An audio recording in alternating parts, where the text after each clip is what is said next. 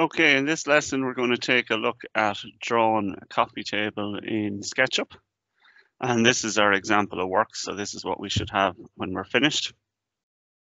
So it's a very basic coffee table, uh, one meter by one meter, thousand mil by a thousand mil.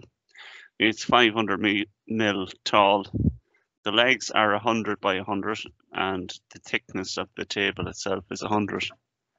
So the first thing we're going to do is go to Chrome or the browser of your choice. I'd prefer to use uh, Chrome app.sketchup.com. And if you haven't done so already, make sure that you have um, your template set up in millimeters. So we're going to create new. And the first thing I'm going to do is R for rectangle and click and drag and it's 1000 comma 1000 enter. P on the keyboard for push pull and I'm going to pull that up by 500 and I'm going to scroll in here. And I'm going to use T for tape and I'm going to draw a guideline 100 in. And then I'm going to go R for rectangle and from this intersection here, and you're going to make that 800. So that's a thousand minus 100 for each of the legs. 800 comma 400 because the thickness is of the table itself. Top table top is 400 is sorry 100, so that leaves 400.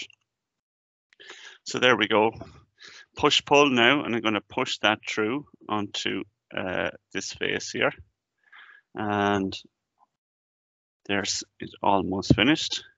So the same again, T for tape, in 100, or for rectangle, uh, 800 comma 400,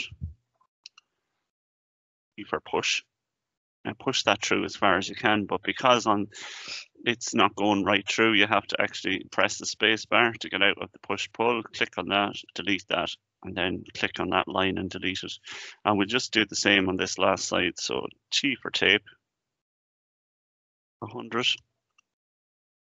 or for rectangle from the intersection, 800 comma 400. P for push pull, and push that through space bar, click delete, delete. Go to the glasses and you can delete all the guides. The last thing then just to put into your dimensions. So tape over here, get your dimensions and just put your dimensions on the image. So you're proving to me that you've actually drawn it to scale. Okay, and I'll know that that's 100. Then go to menu, download, I want a PNG, and I want you to export it out and then return it to me through Teams.